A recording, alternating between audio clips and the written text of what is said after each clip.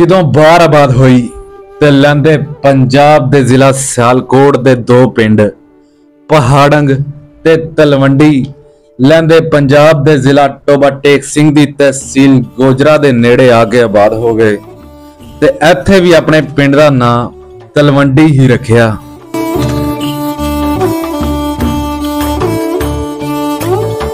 ਇਸ ਪਿੰਡ ਦਾ ਪੂਰਾ ਨਾਂ 316 ਜੀਂਬੇ ਸਾਰੰਗ ਤਲਵੰਡੀ ਏ ਤਹਿਸੀਲ ਗੋਜਰਾ ਦੇ ਵਿੱਚ ਤਲਵੰਡੀ ਨਾਮ ਦੇ ਦੋ ਚੱਕ ਨੇ। ਇਹ ਪਿੰਡ ਗੋਜਰੇ ਸ਼ਹਿਰ ਤੋਂ ਝੰਗ ਰੋਡ ਦੇ ਉੱਪਰ, ਝੰਗ ਬ੍ਰਾਂਚ ਨਹਿਰ ਦੇ ਨਾਲ ਤਕਰੀਬਨ 16 ਕਿਲੋਮੀਟਰ ਫਾਸਲੇ ਦੇ ਉੱਪਰ ਪੈਂਦਾ ਹੈ।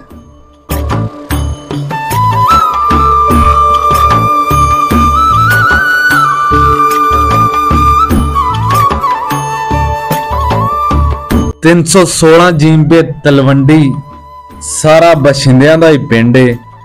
ਇਸ ਚੱਕ ਦੇ ਅੰਦਰ ਚੜ੍ਹਦੇ ਪੰਜਾਬ ਤੋਂ 47 ਵੇਲੇ ਕੋਈ ਵੀ ਮਹਾਜਰ ਨਹੀਂ ਆਇਆ।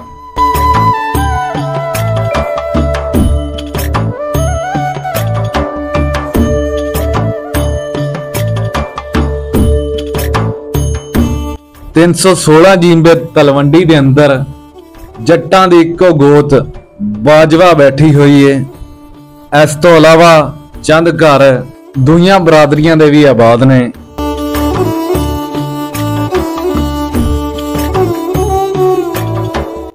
ਤਿੰਨ ਸੌ 16 ਜੀਂਬੇ ਤਲਵੰਡੀ ਦਾ ਕੁੱਲ ਰਕਬਾ 43 ਮਰਬੇ ਹੈ।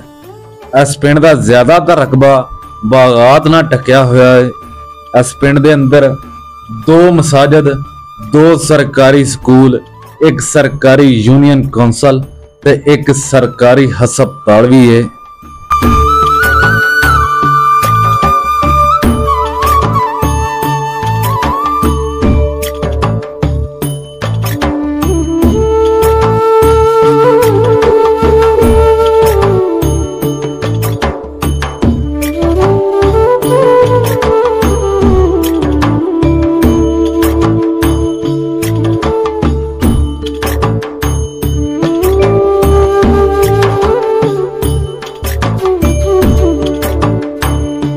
ਤਿੰਨ ਸੌ 16 ਜੀਂਬੇ ਤਲਵੰਡੀ ਦੇ ਅੰਦਰ ਕਬੱਡੀ ਦਾ ਬਹੁਤ ਜ਼ਿਆਦਾ ਸ਼ੌਕ ਕੀਤਾ ਜਾਂਦਾ ਹੈ।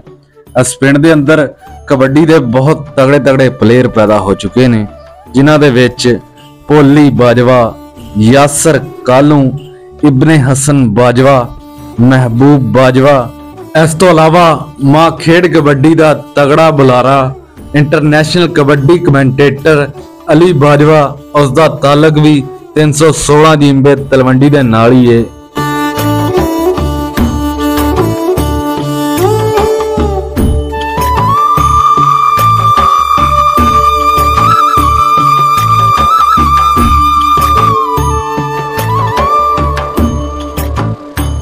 ਹੁਣ ਗੱਲ ਕਰਦੇ ਹਾਂ 316 ਜਿੰਬੇ ਤਲਵੰਡੀ ਦੀਆਂ ਮਸ਼ਹੂਰ ਸ਼ਖਸੀਅਤ ਦੇ ਵਿੱਚ, ਜਿਹਦੇ ਵਿੱਚ ਚੌਧਰੀ ਕਾਸ਼ਫ ਬਾਜਵਾ, ਚੌਧਰੀ ਮੁਖਤਾਰ ਬਾਜਵਾ ਕਮਲ, ਅਦਰੀਸ ਬਾਜਵਾ, ਮੇਜਰ ਆਮਰ ਸਾਹਿਬ ਤੇ ਬ੍ਰਿਗੇਡੀਅਰ ਜ਼ਿਆ ਦਾ ਨਾਮ ਆਂਦਾ ਹੈ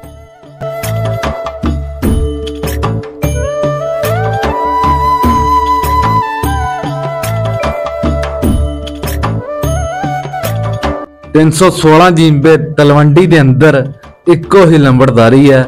ਇਸ ਪਿੰਡ ਦੀ ਲੰਬੜਦਾਰੀ ਦਾ ਨਿਜ਼ਾਮ ਚੌਧਰੀ ਖਾਲਦ ਬਾਜਵਾ ਲੰਬੜਦਾਰ ਸਾਹਿਬ ਸੰਭਾਲਦੇ ਨੇ।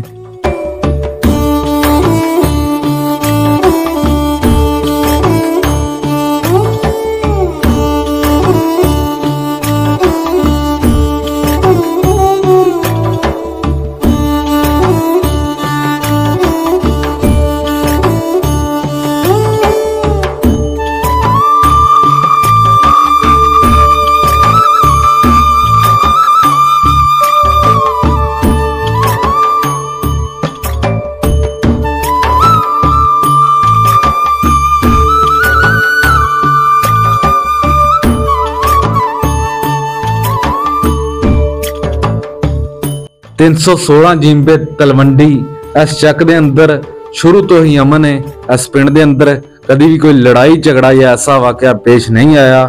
ਸੋਹਣੇ ਮਾਲਕ ਅੱਗੇ ਦੁਆ ਹੈ ਕਿ ਅੱਲਾ ਪਾਕ ਇਸ ਪਿੰਡ ਦੇ ਲੋਕਾਂ ਨੂੰ ਹਮੇਸ਼ਾ ਹੱਸਦਾ ਵਸਦਾ ਰੱਖੇ ਤੇ ਪਿੰਡ ਨੂੰ ਹਮੇਸ਼ਾ ਤਰੱਕੀਆਂ ਦੇਵੇ।